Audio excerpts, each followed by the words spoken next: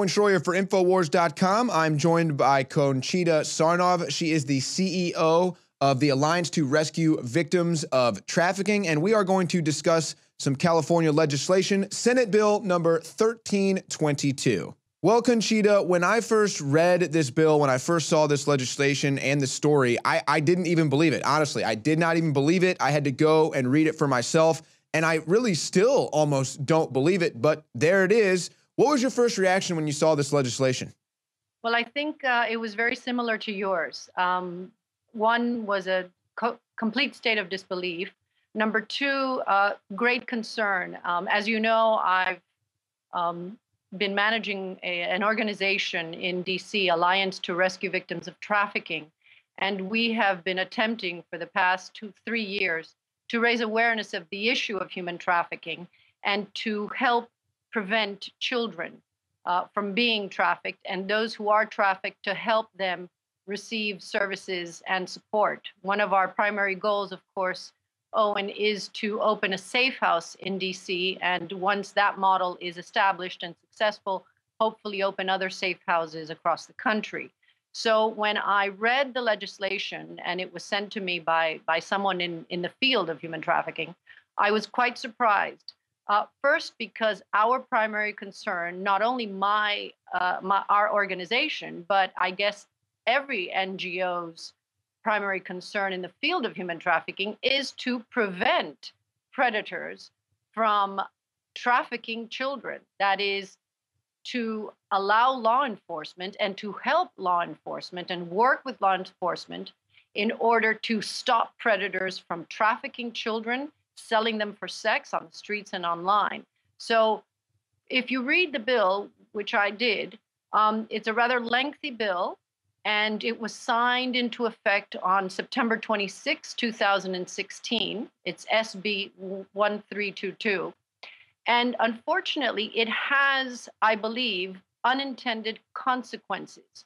I'm sure that unwittingly, those who attempted and who advocated for the bill uh, I don't believe were there to hurt the victims, but unfortunately, according to the DA's office, and I cannot uh, reveal who I spoke to at the Los Angeles District Attorney's office, but the officials who I spoke to said that this law actually does not protect victims. Why? Very simply, because it allows the victim to claim rights when she's on or he is on the street. Boys and girls underage can now claim under SB 1322 that the police who comes forward to try to detain that victim cannot detain them and they're infringing upon their rights.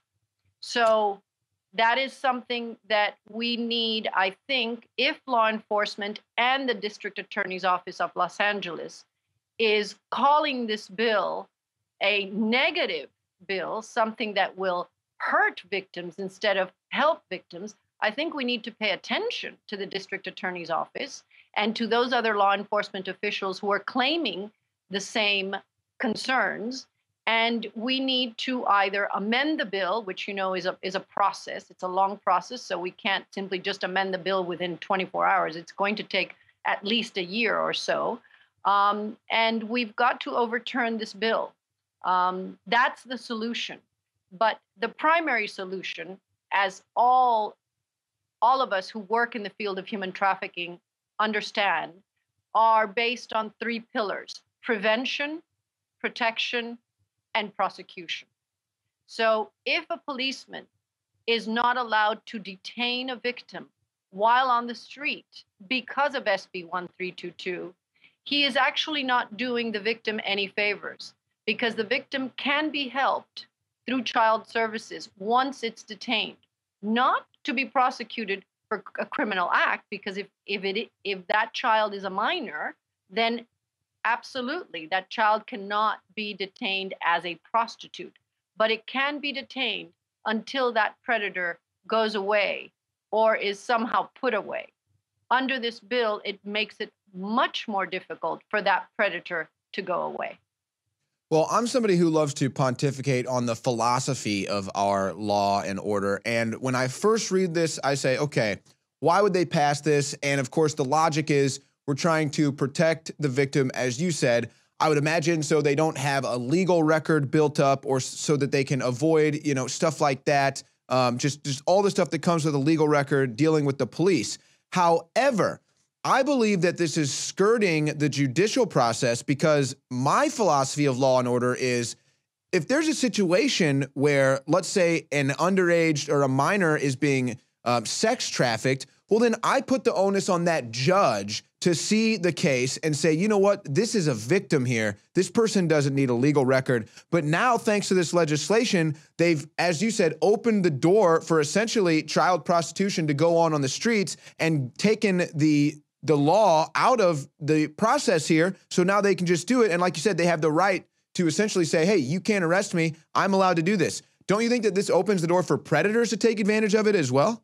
Absolutely. Not only does it ta- does it allow predators to take advantage of this, which is what the DA's office explained to me, and you know I am not a lawyer, so I certainly uh, pay attention to and listen to uh, attorneys and district attorneys who uh, who have recommended that this law is not positive and not helpful and not a pre- preventive measure uh, in support of victims. Quite the contrary.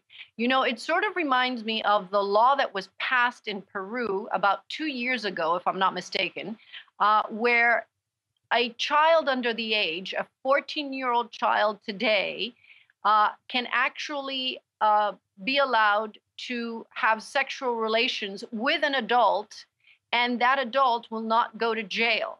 Now, you have to ask yourself why. Well, very simply, from what I was told, uh, in Peru, there were so many government officials and rich predators um, abusing children sexually under the age that they decided to create this new law.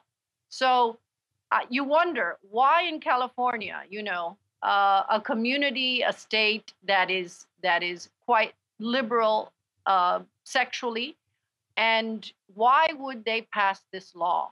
Uh, it, it is a question. It is an important question we need to ask ourselves. And at the end of the day, this is a bipartisan issue. This is not about Democrats versus Republicans.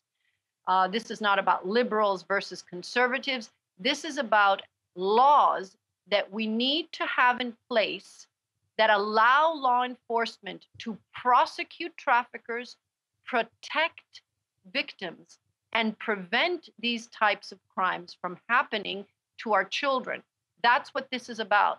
And that should be everyone's focus. Well, I'm, a, I'm afraid the liberal mindset has really twisted and concocted quite a web here that they're not even going to be able to get themselves out of but it's been interesting. Recently, I've noticed the normalization of pedophilia with publications such as Salon, the New York Times, uh, TV yes. shows on Fox putting children's with gags in their mouth. Even on Snapchat, they stood up for a pedophile who said he was a, a professor that was attracted to prepubescent girls, but because he never acted on it, it was okay. And then you mentioned, hey, this happens in California. What's in California? Hollywood. Do you think there might be any connection here? Well, look, I, I have not investigated. As you know, I'm also an investigative reporter, so I, I I don't want to speak out of turn, but I do know that we live in a hypersexual culture.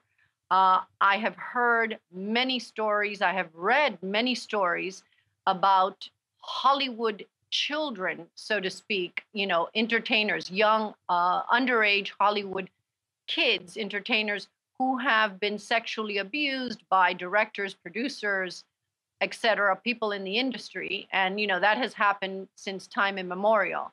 So, um, I would guess, and this is a guesstimate, that given the stories I've read and the information that's out there, uh, yes, it could be a law that would certainly help uh, those predators uh, get away with more than what they've already been able to get away with. Uh, in this country, as you know, when you have money and you have influence, you can get away with a lot. And that was the basis of my book, Trafficking, which was published last year after uh, many, many publishers turned it down. Well, Conchita Sarnoff from the Alliance to Rescue Victims of Human Trafficking, thank you so much.